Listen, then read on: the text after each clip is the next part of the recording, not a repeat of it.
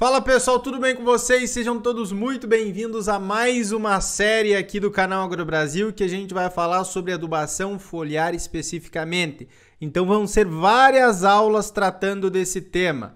Se você gostou, deixa o like, se inscreva aqui no canal, acompanha também até o final a nossa série, porque tem bastante conteúdo para ajudar você, seja produtor rural, seja técnico, seja estudante de agronomia, a gente vai falar sobre os principais pontos com relação a coisas práticas também, do que, que a gente recomenda aqui na nossa consultoria, do que, que dá mais resultado para a gente, também para você fazer a tua avaliação e conseguir tomar a decisão aí na sua área, né, ou na sua região de atuação.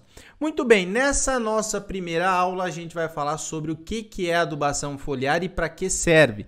Beleza, pessoal? Só lembrando que então vão ser uma série de aulas, a gente colocou aqui serão oito aulas especificamente. Hoje nós vamos começar falando sobre o que é adubação foliar e para que, que ela serve. Depois a gente vai falar como que ocorre a absorção via foliar, os tipos de fertilizantes utilizados na aplicação foliar, as situações que podemos posicionar um foliar de maneira mais eficaz, o cálculo da dose de fertilizante foliar, como que a gente pode fazer análise foliar como ferramenta para tomada também de decisão e as situações que a adubação foliar vai acabar funcionando bem, vai acabar compensando aí para o teu caso. E a aula número 8, como calcular o custo-benefício da adubação foliar, tá? Então, serão uma série de aulas aqui bem completas. Acompanhe até o final porque tem bastante conteúdo mesmo. Então é o seguinte, alguns recados importantes aí para vocês. As novas aulas, elas serão liberadas nos domingos, como a gente faz aqui comumente no canal Agro Brasil. As séries são posicionadas aos domingos, tá? Então, geralmente às 19 horas. Se você puder, assista no dia que sair uma nova aula. Porque se você comentar aqui tiver alguma dúvida, a gente consegue responder. Se passar mais tempo, a gente pode responder ainda, mas como são muitos vídeos, né, muitas perguntas, acaba demorando mais. Então, dê preferência para assistir no dia da estreia, que é domingo às 19 horas. Uma outra coisa, o material em PDF será enviado no grupo do WhatsApp. Que grupo de WhatsApp é esse, professor, que eu não sei? Aqui abaixo tem um link, você cadastra o seu e-mail, entra no nosso grupo silencioso do WhatsApp. Não é para conversar, ficar mandando bom dia, boa tarde, boa noite, videozinho, não. É só para a gente avisar de novas aulas, novos vídeos aqui do canal Agro Brasil e também recados para vocês. Então entre aí no grupo do WhatsApp e a gente manda. Se você já entrou, tá lá nos grupos de conteúdos, pode ficar tranquilo, vai ir para lá esse material em PDF. Também busque assistir a aula no dia do lançamento e compartilhe essa série com amigos, com colegas que podem se interessar por esse tema. Assim você nos ajuda bastante também a crescer o canal. Então pega o link aqui abaixo, tem um botãozinho compartilhar. Copia o link, manda lá no grupo do, da faculdade, de produtor, enfim, para o pessoal acompanhar aqui, certo? Antes da gente começar, eu gostaria só de dar um recado para vocês, porque eu sei que esse tema de adubação foliar ele é um pouco polêmico. Então tem gente que é super a favor e gente que é, um, é super contra, já tem uma opinião formada sobre isso. Ah, não tem que aplicar, não, não tem que aplicar. Tente tirar essas preconcepções para a gente fazer uma série legal aqui para vocês, certo? Se surgir alguma coisa nova, comenta aqui abaixo, fica à vontade para comentar.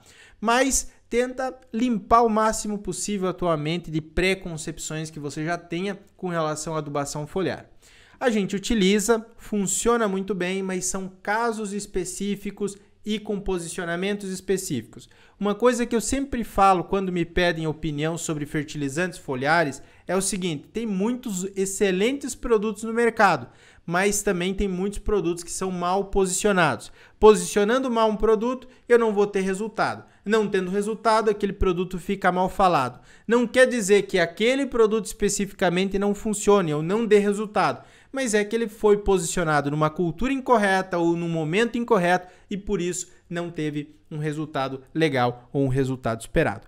Beleza, pessoal? Então vamos começar aí? Vamos começar falando sobre o que é adubação foliar, uma definição da Embrapa. Adubação foliar é uma técnica utilizada para fornecer nutrientes às plantas envolvendo a assimilação de nutrientes pelas folhas não sendo considerada substituta da adubação convencional pelo solo, que envolve a assimilação de nutrientes pelas raízes, já que as quantidades de nutrientes normalmente envolvidas na produção de um cultivo são muito superiores às quantidades de nutrientes que poderiam ser absorvidos, absorvidas pelas folhas. Seguinte, o que quer dizer com isso? Adubação foliar não substitui de nenhuma maneira a adubação via solo, mas pontualmente eu posso fazer uma adubação foliar.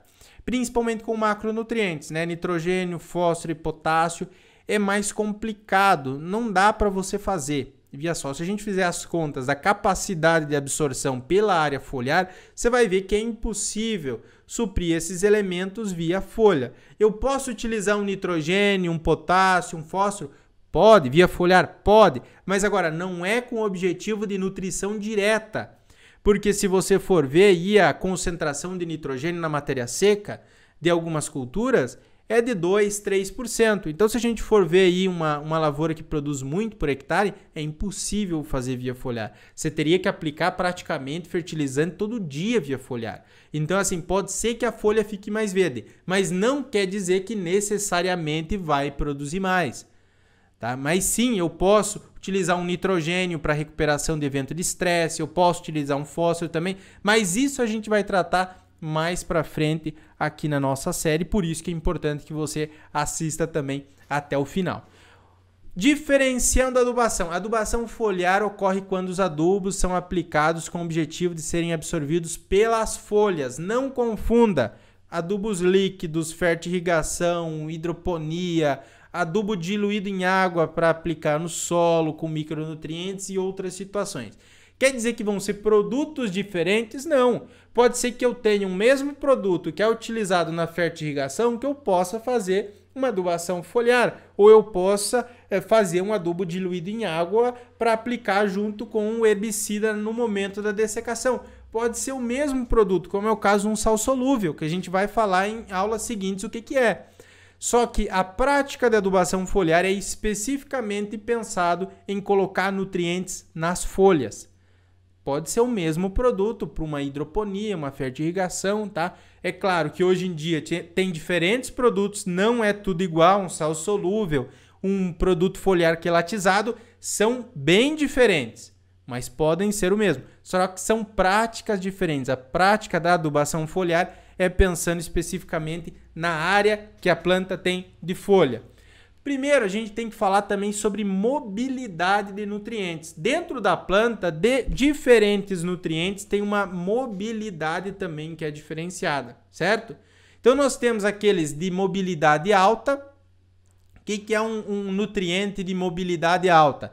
É aquele que eu vou ter sintomas de deficiência nas folhas mais velhas, né? Então, o nitrogênio, o fósforo, o potássio, o magnésio, eu vou ter os sintomas de deficiência e aqui tá a soja, só que pode ser outra cultura, pode ser milho, pode ser feijão, trigo, pode ser é, tomate, qualquer cultura agrícola, porque ele tem uma alta mobilidade dentro da planta. O que, que acontece?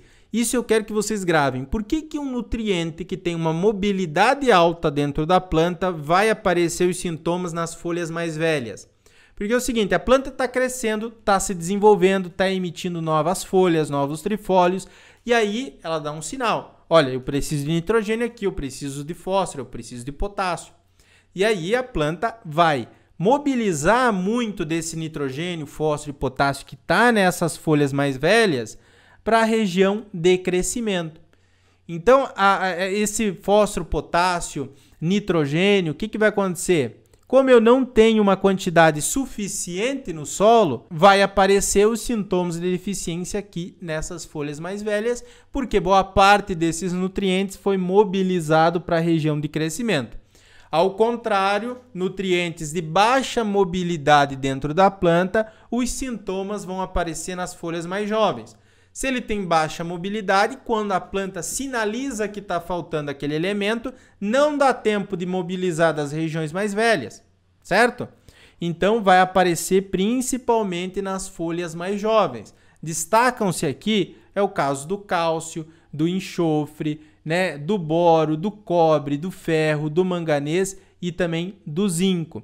Então os sintomas vão aparecer aqui nas folhas mais jovens, tá? Isso é importante para a gente entender e identificar também o que, que é deficiência nutricional, de quais elementos. Eu sei que é um pouco complicado, às vezes a campo, você diferenciar, principalmente para o pessoal mais jovem, né, o pessoal que não tem tanta experiência com relação à identificação visual de deficiência nutricional. Muitas vezes os agrônomos, né, a gente vai a campo, já tem anos de experiência e mesmo assim é um pouco complicado porque se combina com doenças, né, tem um sintoma um pouco difuso que a gente não consegue entender. Então nós podemos utilizar outras ferramentas para tomar decisão. É o caso da análise de solo, é o caso da análise foliar, é o caso de sintomas típicos para aquela cultura. Vou citar um caso aqui, né, tomate tomate eu tenho vários sintomas de deficiência de cálcio, é mais comum ocorrer, né? De boro também, de zinco pode ocorrer com uma certa frequência. A cultura do milho, de nitrogênio, de potássio, vai ocorrer com maior frequência. Então eu já começo a olhar para aquela cultura, opa, pode ser isso, pode ser aquilo, pode ser aquele outro.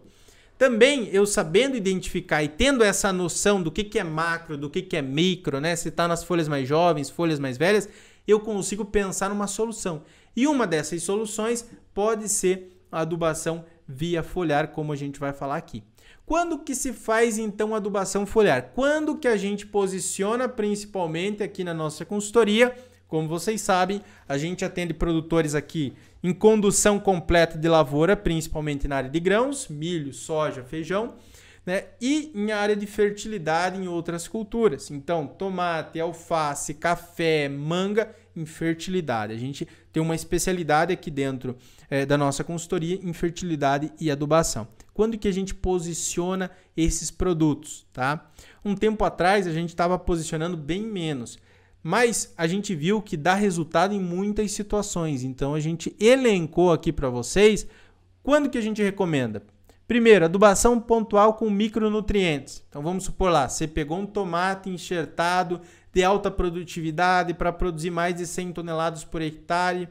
Você pega a tua análise de solo, tenha um, um, um boro, por exemplo, 0,2 miligramas, você tenha um zinco muito baixo também, aí sim é muito mais importante. Muitas vezes você pode também colocar micronutrientes no sulco, na cova, na linha de plantio, mas também de maneira preventiva lá na frente, pensando já na alta produtividade daquela tua lavoura e pensando também que aquele elemento está baixo na tua análise de solo, fazer uma pulverização próximo do momento ali do florescimento, que a planta vai ter uma maior demanda, tá? Uma maior demanda por aquele elemento. Então a gente, a planta tem bastante área foliar para absorver boro, para absorver zinco ou cálcio, né? Tem bastante área foliar e chegou numa época de maior demanda. Não adianta eu colocar lá pulverizar logo depois do transplantio das mudas, duas semanas depois, quando eu vou fazer a montoa do tomate. Não faz sentido. A planta tem pouca área foliar e não está absorvendo, não está necessitando muito daquele elemento. Então, é um posicionamento errado se eu fizer dessa maneira. Outra coisa, corrigir deficiências pontuais quando não é possível de outra forma. Então, assim, eu posso apagar fogo se aparecer um sintoma de deficiência, aplicar um foliar? Pode. Não é o ideal? Não é o ideal, tá? Eu gosto mais de trabalhar de uma maneira preventiva, tanto via solo quanto via foliar, mas também você pode é, fazer uma pulverização para corrigir uma eventual deficiência. Porque, como vocês viram na série anterior sobre os nutrientes, né? Quando a planta apresenta sintoma de deficiência via foliar, já houve uma série de desordens fisiológicas dentro da planta, né, que culminaram na apresentação de um sintoma de deficiência.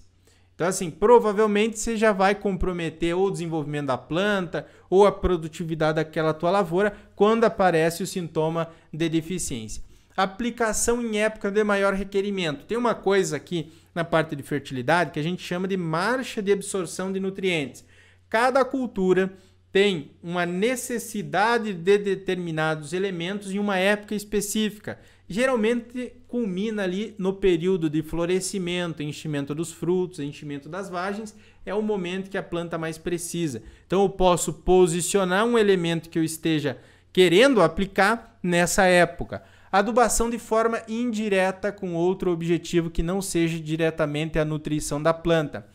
Pode ter outro objetivo? Pode, a gente vai ver em aulas de sequência. Pode ser, inclusive, recuperação de eventos de estresse, como granizo, como eh, períodos de seca, ataque de pragas, ataque de doenças. Pode ser melhoria do aspecto visual, deixar uma lavoura mais verde, ter um produto mais verde para ser comercializado no mercado. Então, sim, a adubação foliar também tem outros objetivos além apenas né, da, do suprimento de nutrientes para aquela planta. É, vamos lá, pessoal. Então, a adubação foliar ela pode ser utilizada em alguns casos, né? E a gente deve saber também quais que são esses casos. Vamos supor aqui um exemplo é que você precisa fazer uma adubação de boro na fase de floração de uma cultura sensível ao nutriente, o maracujá. Então vai responder, eu vou ter um resultado benéfico. Então o boro, ele é um micronutriente, né, chamado os, o macro dos micronutrientes, inclusive é classificado dessa maneira.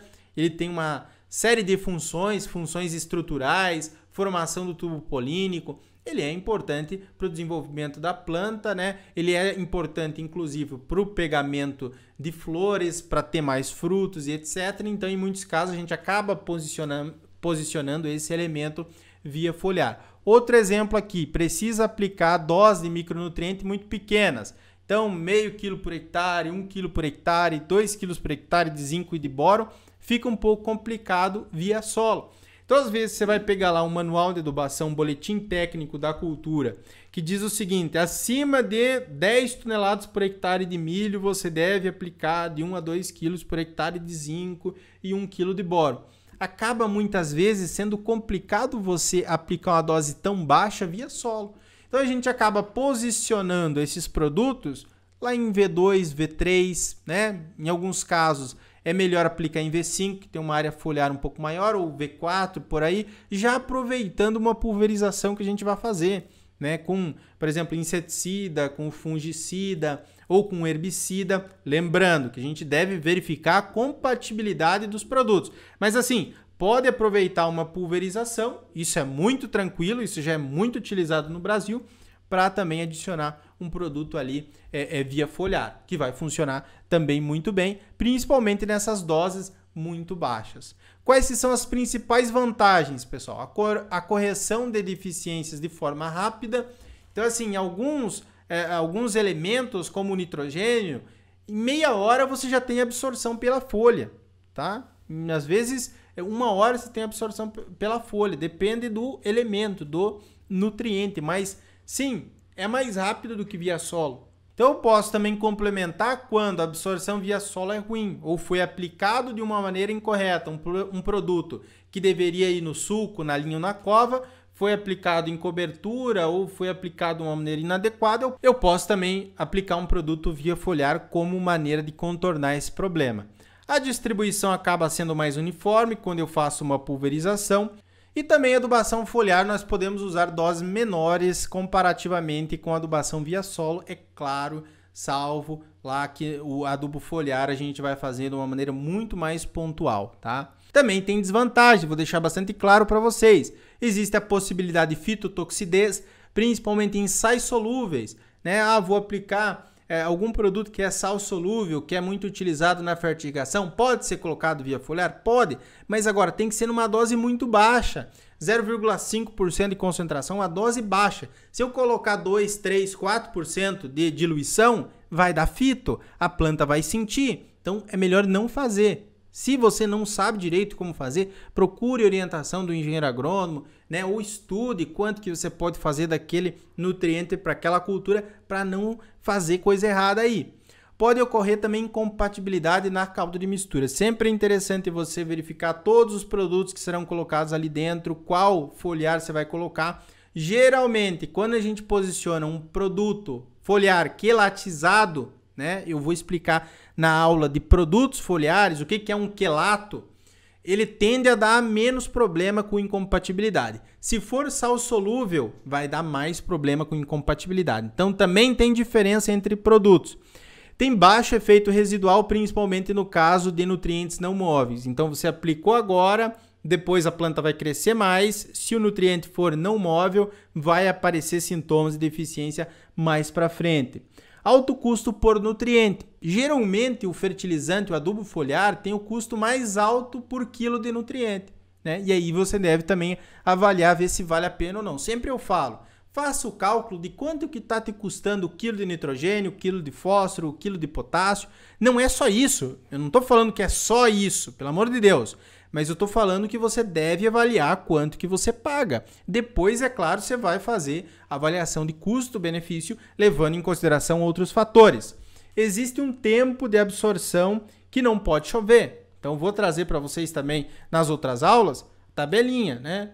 Nitrogênio, fósforo, potássio, cálcio, enxofre, magnésio, micronutrientes, tem um tempo que não pode chover. Se chover, eu vou perder o efeito daquela minha adubação via foliar. Certo, pessoal? Então é o seguinte, a aula de hoje era isso, espero que vocês tenham gostado. Espero vocês também semana que vem para a nossa próxima aula aqui da nossa série sobre adubação foliar. Forte abraço, fiquem com Deus e tchau, tchau!